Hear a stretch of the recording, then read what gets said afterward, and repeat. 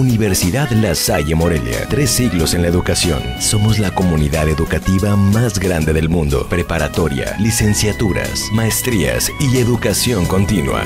La Salle, profesionales con valor.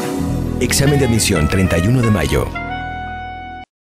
Al acudir a la toma de protesta del nuevo cuerpo de guardias rurales de Cualcomán, Michoacán, Stanislao Beltrán, antiguo vocero del movimiento de autodefensas y actual guardia rural de Tepalcatepec, consideró que ya se está viendo el cambio en los índices de seguridad en la tierra caliente de Michoacán. De hecho, ya lo logramos. Eh, ustedes más que nada, los que han estado aquí siguiendo el movimiento, han visto el cambio total que ha habido en los municipios donde tenemos presencia. Ejemplo, Apatzingán.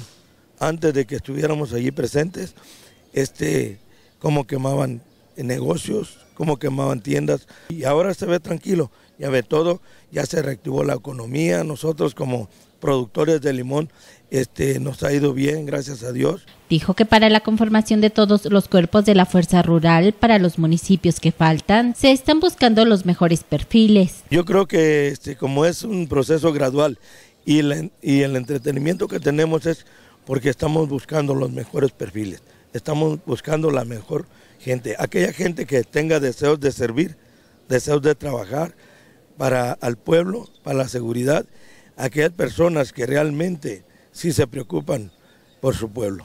Por último, se refirió a quienes lo han criticado.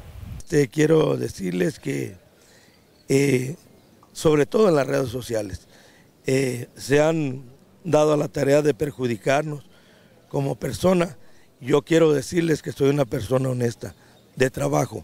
Yo siempre he dicho que yo estoy dispuesto a que se me investigue y que sigo en pie de que yo no voy a a pactar con criminales. Nosotros no vamos a pactar con criminales. Nosotros vamos a dar la vida si es posible, porque Michoacán quede libre del crimen organizado. Estanislao Beltrán dijo que la siguiente semana se formarán otros dos cuerpos de la Fuerza Rural. Con información de Eliseo Caballero Ramírez, informa Cuasar TV.